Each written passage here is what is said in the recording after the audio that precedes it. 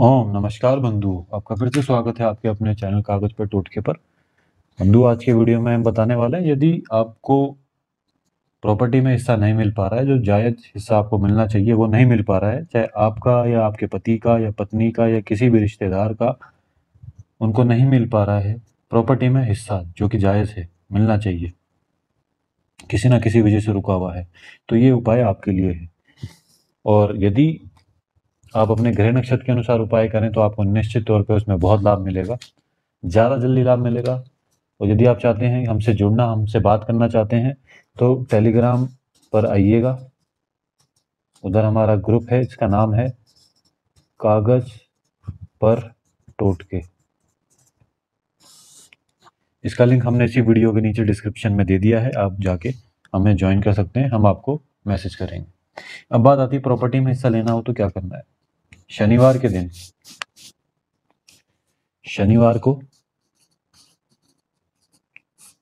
कच्चे दूध में, कच्चे दूध का इस्तेमाल करके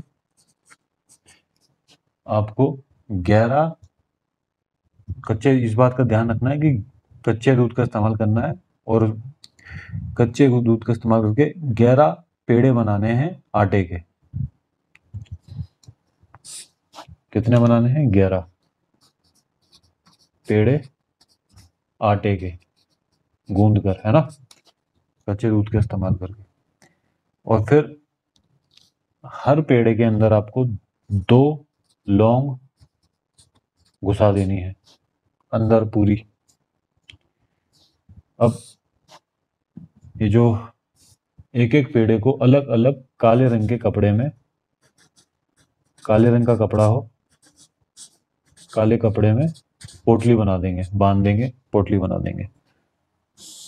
फिर इसको आप अपने घर की अलमारी में रखें।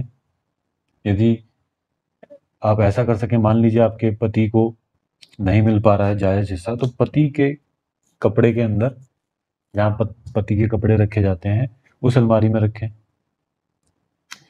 या फिर किसी दूसरे व्यक्ति का कपड़ा आसपास हो जिसकी, जिसको प्रॉपर्टी में नहीं हिस्सा मिल पा रहा है, उसका कपड़ा हो आसपास तो वहाँ रखें। वरना अलमारी में जो हर घर में कॉमन अलमारी होती है, उसमें भी रख रख सकते हैं। फिर इसको आप, जब तक इसमें फफूंदी ना लग जाए, तब तक इसको नहीं छेड़ेंगे। अंदाजतन दो से तीन महीने में फफूंदी लग जाएगी।